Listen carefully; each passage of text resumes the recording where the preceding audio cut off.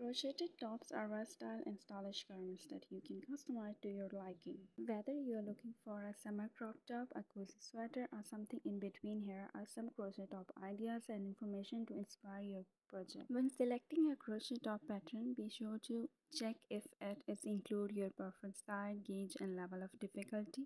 You can find a wide range of crochet top patterns and tutorial online in crochet books and on crafting websites. Enjoy exploring different styles and creating beautiful crochet tops to enhance your wardrobe. I hope you enjoy all these crochet top ideas. Do watch this video till the end and thanks for watching this video.